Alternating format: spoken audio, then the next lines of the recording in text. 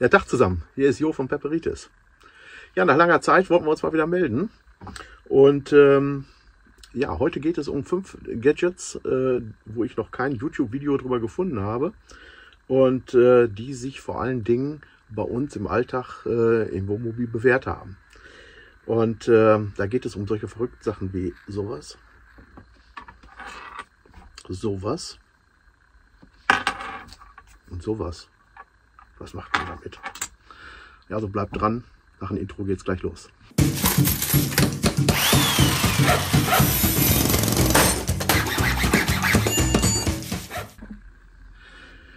Ja, in dieser Folge Basteln am Waschtel äh, geht es äh, um äh, Gadgets, so Kleinigkeiten, die günstig sind, jeder äh, selbst installieren kann, ohne großen Aufwand und äh, die sich sehr, sehr gut bewährt haben, weil wir davon einfach überzeugt sind äh, und äh, immer wieder einbauen würden. Ja, als erstes äh, möchte ich euch dieses kleine Ding hier zeigen. Ja, das ist ein kleines Plastikteil, äh, liegt so im Dreierpack irgendwie bei 4 Euro. Äh, das schwankt sehr stark. Man sollte nur darauf achten, dass die Aufkleber hier hinten von äh, 3M sind. Äh, dann äh, ist das alles gut. Und ähm, ja, das kommt vorne an der Windschutzscheibe. Ich zeige es euch mal gerade kurz. Ja, das kleine Ding wird einfach an die Frontscheibe geklebt, vielleicht so ein bisschen hinter die Verkleidung gedrückt. Da ist so ein Selbstklebepad drauf, andrücken und dann würde ich im Moment warten, vielleicht in ein, zwei Stunden. Ähm, ja, und dann kann man da ganz prima eben schnell irgendwelche Tickets hinterklemmen, die man, also Parktickets, die man bekommen hat. Kann man prima von draußen lesen. Ja, und wenn man sie nicht mehr braucht, kann man es auch wegziehen, fertig. Ja, und dann seht ihr, hat sich also wirklich tausendfach bewährt und wir wollen es nicht mehr missen. Es passt hinter diese, ähm, hinter das Plissé. Jo, und es fällt auch nichts runter. Es ist immer eine ordentliche Geschichte.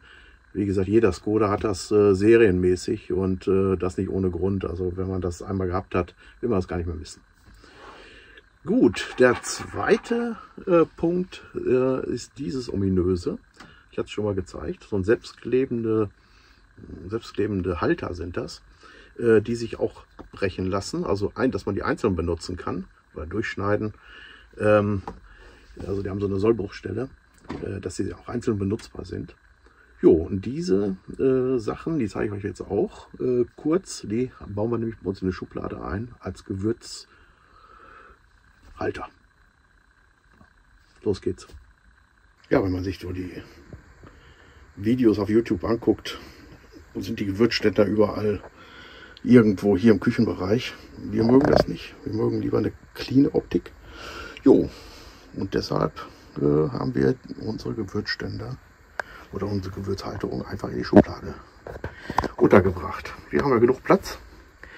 Ja, und hier haben wir die wichtigsten Gewürze halt alle drin. Salz, Pfeffer, verschiedene Größen. Ob das jetzt hier so ein großer, äh, so ein Pfeffer, eine kleine Pfeffermühle ist oder die Standardgewürze.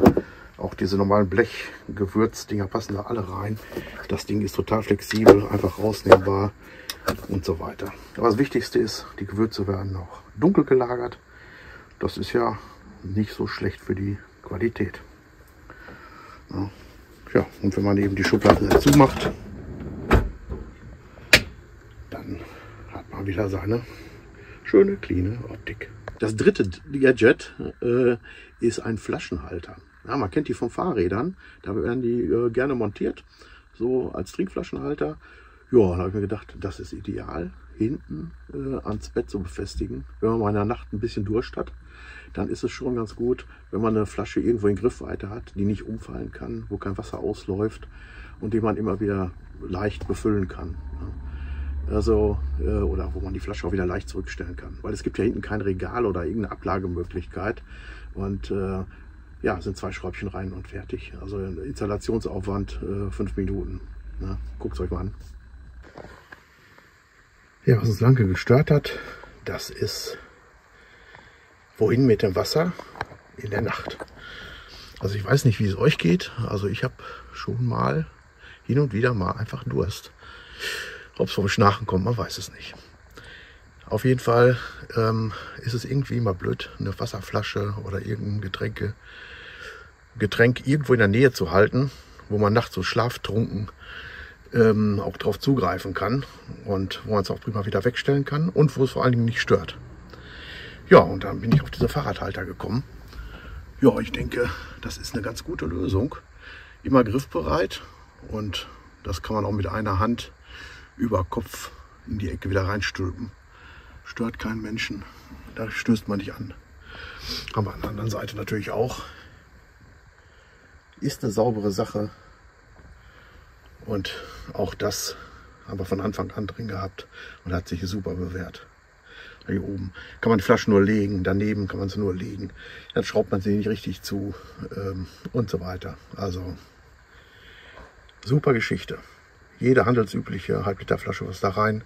Kann man sich immer wieder auffüllen oder neu kaufen, je nach Belieben. Ja, als viertes äh, Hosenträger in Dreiecksform. Wofür braucht man denn das?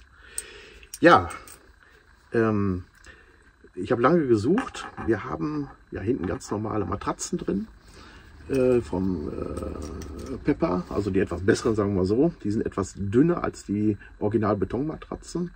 Ähm, aber wir haben uns trotzdem noch einen Topper oben drauf gegönnt. Jetzt arbeitet das Ganze und äh, dann neigt so ein Standard-Spannbetttuch dazu, ja, drunter her zu flutschen. Und man ist dann immer wieder damit beschäftigt, die Dinger gerade zu ziehen. Ja, und dann macht man einfach diese Hosenträger unten drunter als zusätzlicher Spanner unter das Spannbetttuch. Das ist relativ schnell gemacht. Kosten wirklich auch nur ein paar Euro, diese Dinger. Und das Spannbetttuch ist immer fest. Guckt es euch eben an. Jo, dann noch eine Kleinigkeit, die uns beim unseren Wohnmobil im Speziellen ein bisschen gestört hat. Äh, wir haben hier eine etwas hochwertigere Matratze, die ist aber nicht besonders dick und haben uns deshalb obendrauf noch einen Topper gegönnt. Jetzt ist der Schlafkomfort göttlich, also hundertprozentig.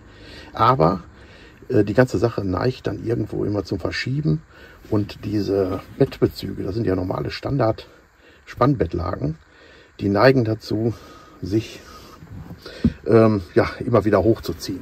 Und dann gibt es ähm, diese ähm, ja, Hosenträger, sage ich einfach mal, so Spanngurte. Die kann man dann einfach darunter machen. Und äh, das hat sich super bewährt.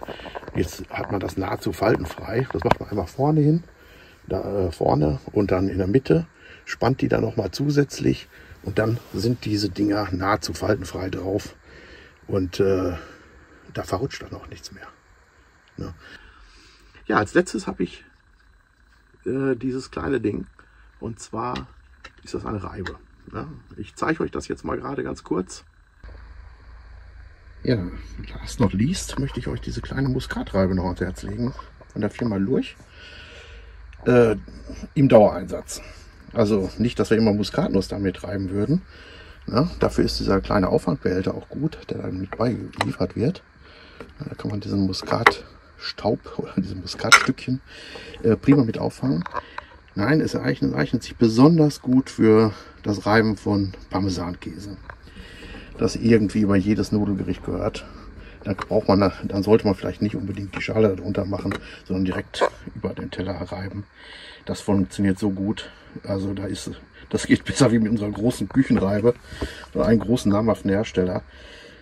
Ähm, also immer im Einsatz, kosten ein paar Euro, ja, aber eins der Utensilien, die wir immer im Einsatz haben.